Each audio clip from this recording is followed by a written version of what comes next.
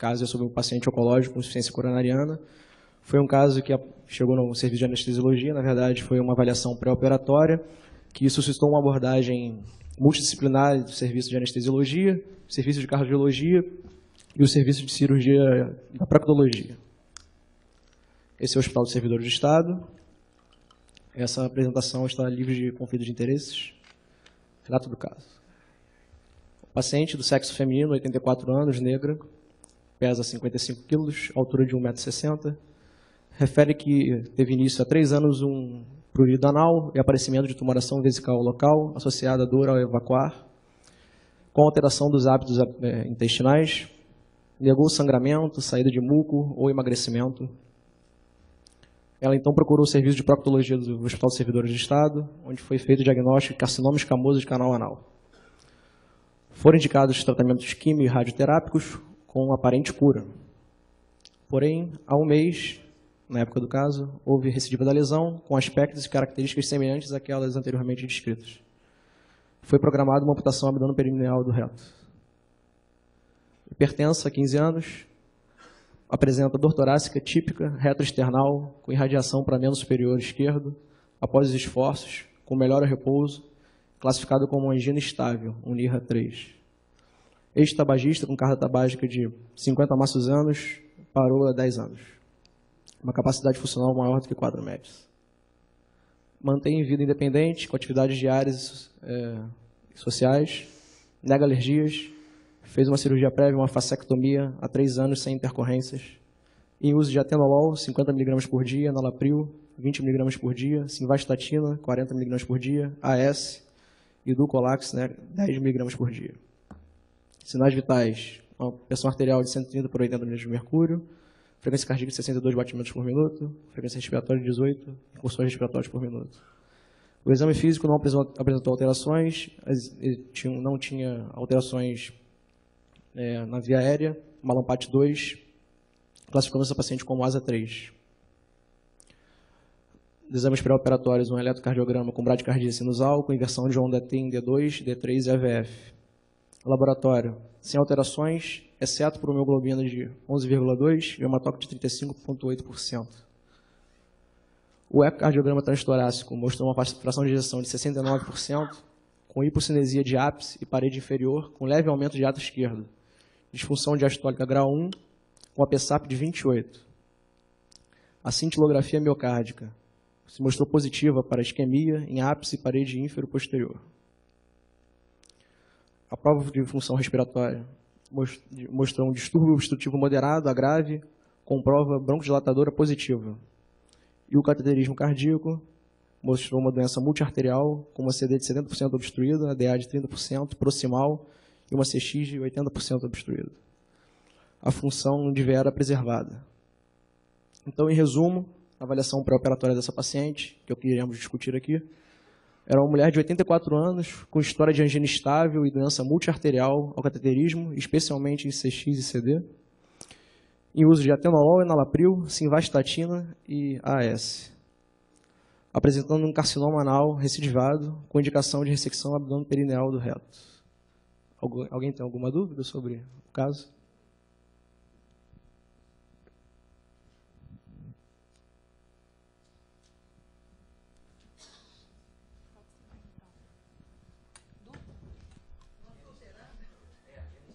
Então, é isso que eles querem saber em relação ao preparo. A nossa discussão, o, o, o foco dessa discussão era exatamente o convite para a anestesia para a gente participar da discussão, como se a gente estivesse nesse momento participando dessa, dessa discussão entre a cirurgia, a anestesia e a cardiologia, sobre como, o que fazer para conduzir essa paciente. E aí eram várias discussões, como por exemplo, se essa paciente deveria revascularizar o miocárdio de alguma forma, ou aberto, ou por angioplastia, ou operar o câncer antes. E era isso que a gente queria levantar aqui para a discussão. Caso ela fosse operada, o que ia fazer com as medicações que ela usava, também foi parte ali da discussão.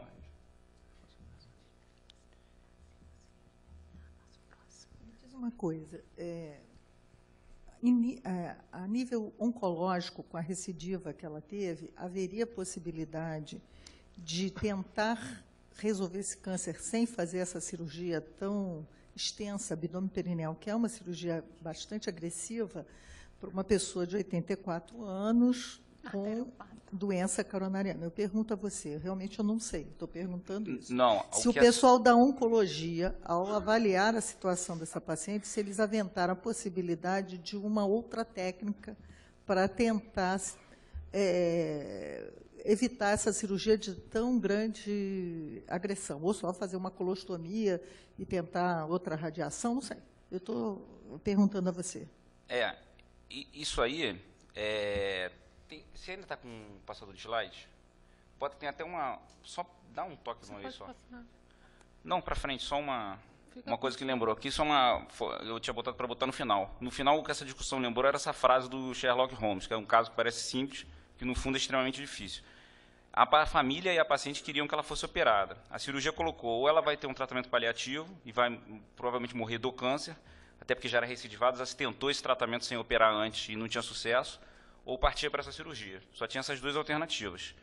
E a, a própria opinião da família, até por relação a uma pessoa ativa, tinha vida independente, fazia as atividades diárias, era capaz de fazer atividades é, fora de casa cotidianas, tipo ir ao mercado, cuidar da vida financeira. Então, a família queria que ela fosse operada e para poder manter isso. Só uma, uma, coisa, uma coisa que faz, às vezes, os pacientes acharem que eles têm que ser operados do câncer é a limitação que a doença está impondo naquele momento. Então, essa era uma paciente que tinha uma lesão é, retal exteriorizada, infectada, isso estava inviabilizando ela a, na utilização na, no seu asseio, porque isso causa muita angústia no doente oncológico. Ele não quer nem saber qual é o risco da cirurgia, mas ele, quando é uma grande massa tumoral, independente do, do, do risco clínico que a cirurgia possa oferecer, o doente quer se livrar daquilo. Então, eu não sei como é que ela estava nesse incomodava sentido. ela também. Ela tinha uma lesão exteriorizada, tinha, tinha uma, uma lesão vegetante. Isso é uma coisa que faz com que tanto o doente quanto a família queiram que a cirurgia aconteça. Porque, no momento, a presença da lesão está sendo um fator extremamente incapacitante para esse doente. Então, é, a família não tem muita noção da repercussão clínica que essa cirurgia vai ter. Elas querem, eles querem, muito compreensivelmente, o alívio daquela, daquele problema. A cardiologia queria que a paciente não fosse operada, era a sugestão da cardiologia, que a paciente não fosse operada. A opinião da cirurgia é que ela revascularizasse o miocárdio antes da, da cirurgia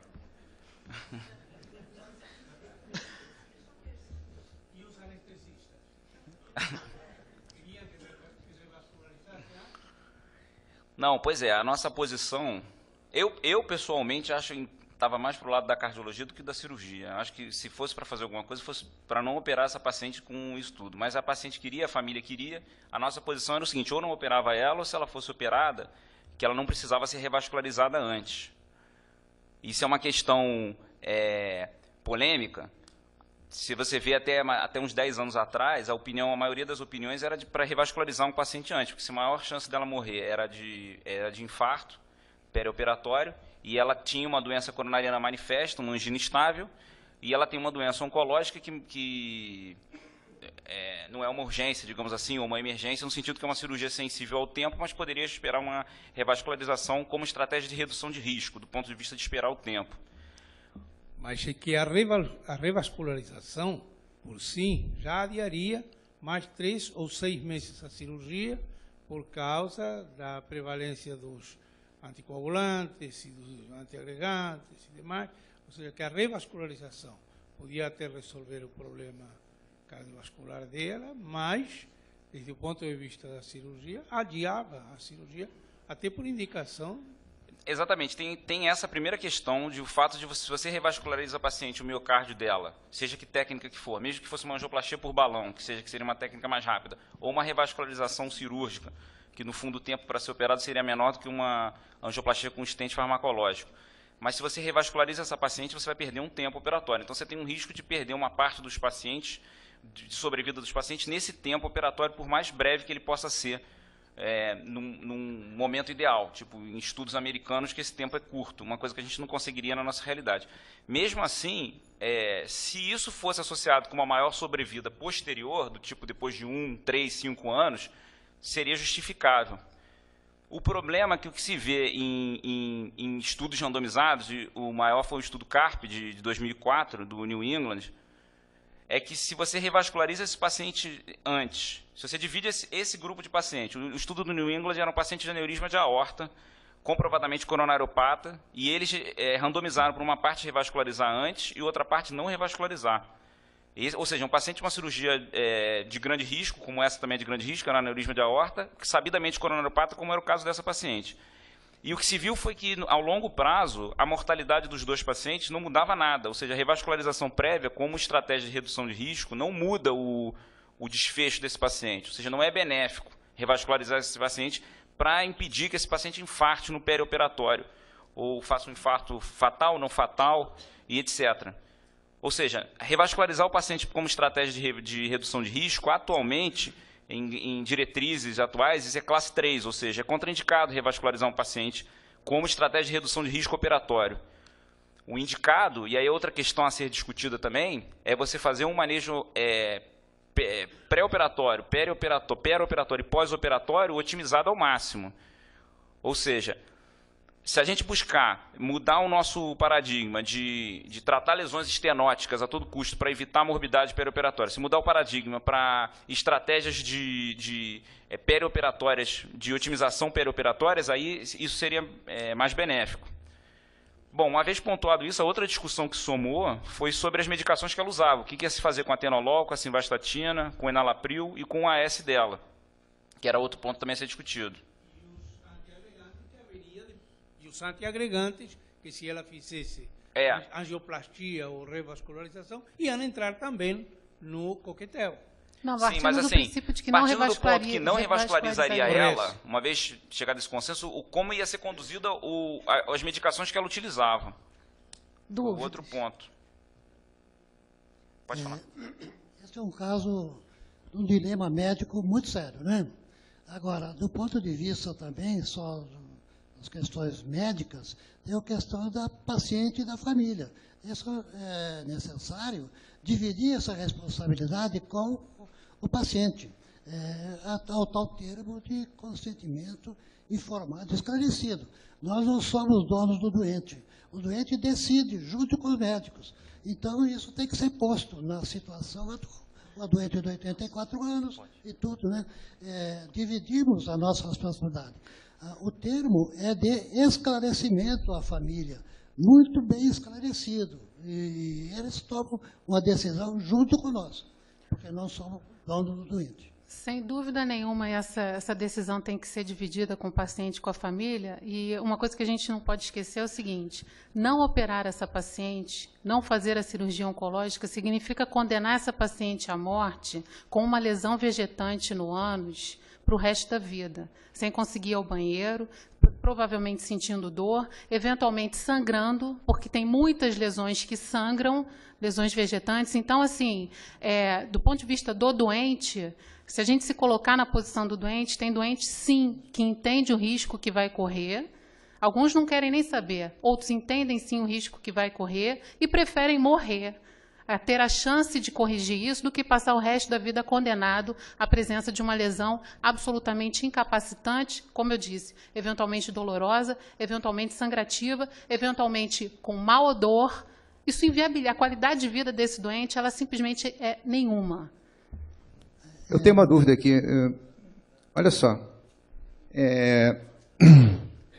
Eu fiquei na dúvida se essa paciente, do ponto de vista cardiológico, ela teria ou não indicação de fazer essas angioplastias por balão, mesmo sem, não como, como é, é, estratégia de diminuição do risco perioperatório, mas se ela não teria mesmo se ela não tivesse doença nenhuma. Eu acho que isso muda um pouquinho a nossa visão. Muda completamente. Pois é. Eu acho que ela, por essas lesões, ela já não teria né, é, indicação desse tratamento, de qualquer maneira? Não, pois é. Se isso é uma coisa boa para frisar. A, a, única indicação que tem de revascularização, a única indicação de revascularização pré-operatória é quando a paciente já teria uma indicação, não porque ela fosse operada, mas porque ela ia ao mercado fazer compras, porque ela ia pegar o elevador e ir para o play.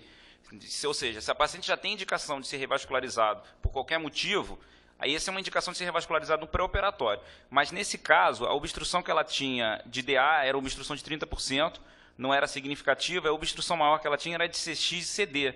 E ela estava com uma angina estável, controlada com os medicamentos, a ponto dela fazer as atividades é, que ela conseguia fazer diárias, controlado com os medicamentos que ela estava usando. Então, do ponto de vista cardiológico, ela não tinha indicação de fazer nenhum tratamento, só manter o tratamento que ela já fazia antes. Então, não, ela não tinha indicação de ser revascularizada. É que não ficou claro. Então ela não estava sintomática. Não, Mas- não. Ok. Estava sintomática aos grandes esforços. Aí outra coisa que eu queria levantar, é o que, que a gente... Tá. Pode falar. Eu voltando ao que eu falei, eh, nós não podemos fazer nada do ponto de vista bioético com o paciente que ele não queira, a não ser iminente risco de vida, que não era o caso. Não era iminente risco de vida nenhum.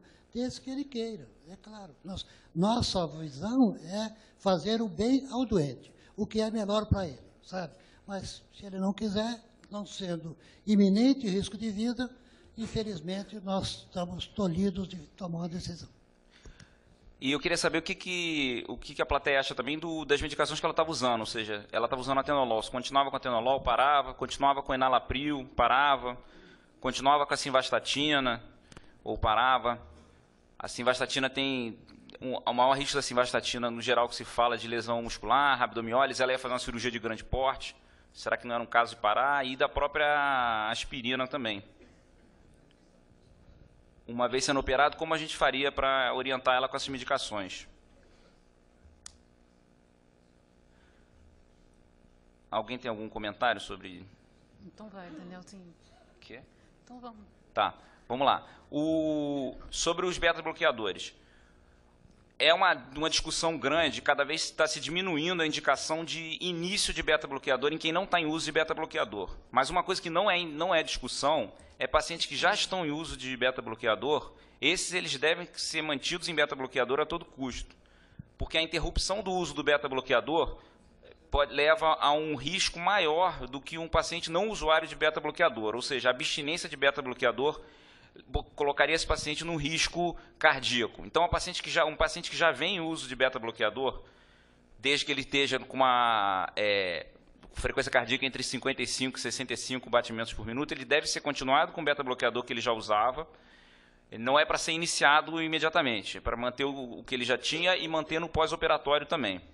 Quanto às estatinas, até alguns anos atrás a indicação era de suspender estatinas em cirurgias de grande risco. Porém, o que se viu foi a mesma coisa que se vê com beta-bloqueador, que, é, que a interrupção do uso levava a um estado pró-inflamatório que piorava a situação do paciente. Então, a estatina ela deve ser continuada, e a estatina ainda tem um problema que, como a estatina é via oral, você tem que reiniciar esse tratamento para o paciente assim que ele começa a se alimentar. Tem estudo americano que fala para você reiniciar pela sonda nasogástrica imediatamente se ele não se alimentar. Tamanho o risco que a abstinência do, da estatina faz. Na verdade, uma abstinência de estatina por si só é um fator de risco independente para mionecrose. Questiona-se a sua utilização e até é, em, em guideline se fala da possibilidade de iniciação, de iniciar a estatina em pacientes de cirurgia vascular, que não era o caso dessa paciente. Mas ela já estava em uso da estatina, que faz parte também da terapia otimizada dela. Então a estatina teria que ser continuada, não poderia ser interrompida. Quanto... Tá. Estou encerrando essa parte. Quanto aos inibidores de enzima conversor, os IECA. Bom, os IECA, é, é, as duas opções são válidas. A suspensão do IECA não aumenta o risco de hipertensão de rebote, uma suspensão de uma dose, ou seja, de 12 horas antes da cirurgia. E a manutenção dos IECA aumenta o risco de hipotensão intraoperatória. Então, é, no fundo, as duas opções são válidas desde que você saiba o que está fazendo. Se você suspender o IECA e reiniciar o mais precocemente possível, isso é uma opção possível para diminuir o risco de hipotensão no intraoperatório. Se você mantiver esse paciente em uso do enalapril que ela usava, e aí a suspensão eu falo de uma dose só do enalapril, ou seja, a última dose que ela tomaria, ela não tomaria, é, suspenderia no dia da cirurgia, tomaria só no dia anterior, se você fizer isso, ela tem que reiniciar o mais rápido possível. Se você não fizer, é só preparado para tratar mais hipotensão.